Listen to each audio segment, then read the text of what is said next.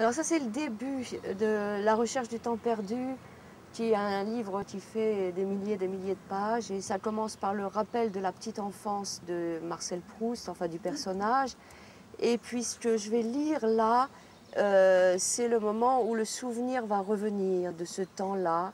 Mais c'est un épisode qui est assez connu, qui est l'histoire de la petite Madeleine, c'est-à-dire euh, le fait d'avoir une sensation qui d'un seul coup fait revenir la mémoire de tout un, tout un temps comme ça.